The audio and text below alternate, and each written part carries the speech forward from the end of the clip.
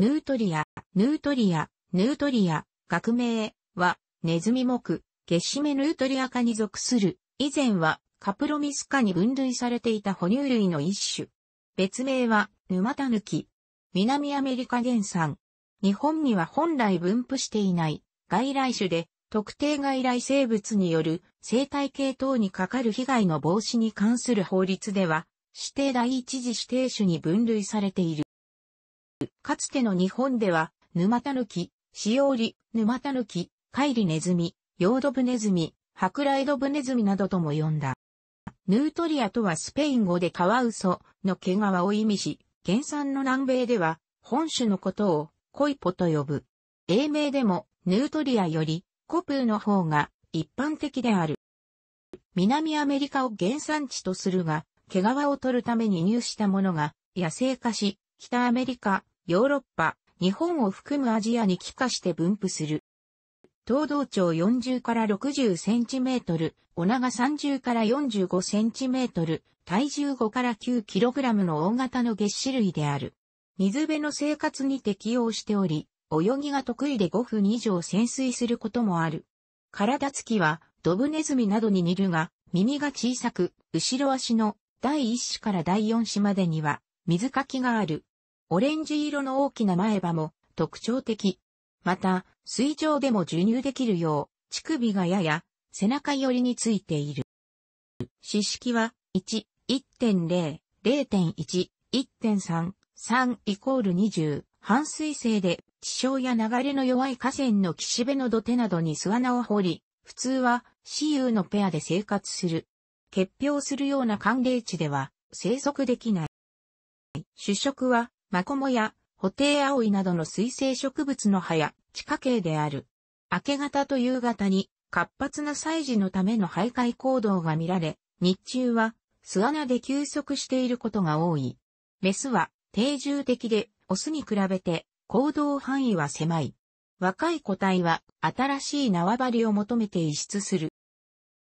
季節を問わず繁殖し、年に2.3回出産する。妊娠期間は約4ヶ月で平均5匹の子を産む。十分に発達してから生まれるため、丸1日後には泳げるようになり、3日後くらいには、早くも生体と同じ餌を取り始める。その後、約半年で生成熟する。寿命は5から8年程度。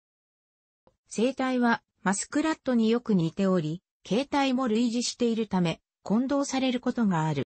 丈夫で育てやすく、柔らかい上質な毛皮が安価に入手できるため、第二次世界大戦頃には、軍隊の防寒用飛行服の裏地として、世界各国で飼育された。日本では1939年に、フランスから150頭が輸入され、飼育が奨励された。当時は、軍隊の勝利にかけて、沼田抜き、しおりと呼ばれ、1944年頃には、西日本を中心に全国で4万頭が飼育されてた。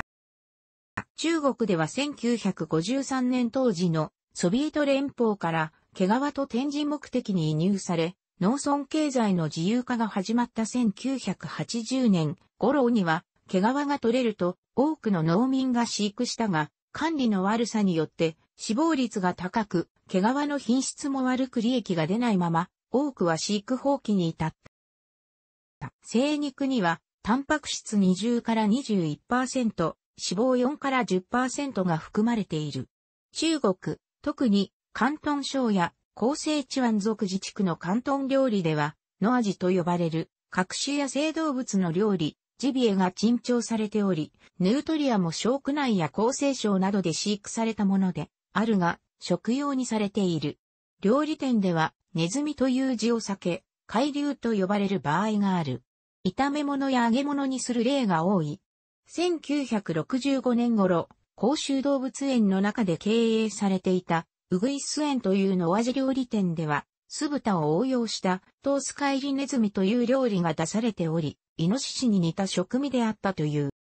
日本では大日本帝国陸軍向けの毛皮採取を目的として導入されたが、第二次世界大戦終戦後で需要が激減したことに伴い、飼育されていた個体の多くが野外に放逐された。また、1950年代の毛皮ブームでは、本種の飼育が流行したが、その後の毛皮価格の暴落に伴い、この時も多数の個体が野に放たれ、野生化している。これらの子孫が各地で定着し、やはり特定外来生物のアライグマと同様に、野外繁殖が問題となっている。岐阜県の蟹川をはじめとした東海以西の西日本各地、広島県、岡山県、大阪府、京都府、島根県、香川県と近畿、東海の各府県に分布が拡大している。茨城県、千葉県、埼玉県、神奈川県、滋賀県、石川県、福岡県などでも記録はあるが、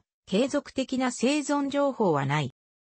日本では侵略的外来種として問題になっており、稲や大麦、葉野菜などに対する食害のほか、絶滅危惧種に指定されている、別光トンボの生息地を壊滅させるなど、在来種の生態系への影響も深刻である。さらに、本種の巣穴は複雑に入り組んでいて深く、水田のあぜや堤防が破壊される原因にもなっている。住宅の庭先への侵入や漁網を食い破る被害も少ないながら発生している。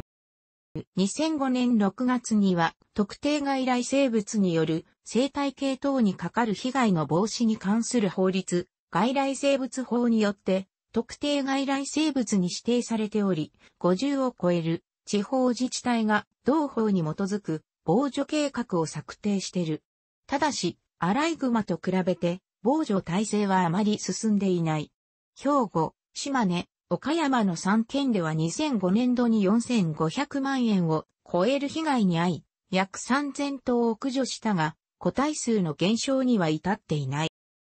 世界の侵略的外来種ワースト100、日本の侵略的外来種ワースト100に選定されている。イギリスでも1920年代の毛皮用として導入され、1950年代には20万頭以上まで増加した。その後、10年がかりで約100万頭を駆除し、1989年に根絶に成功した。歓迎下では、尾の凍傷から感染して死に至ることがしばしばあり、これが原因で、スカンディナビアでは絶滅している。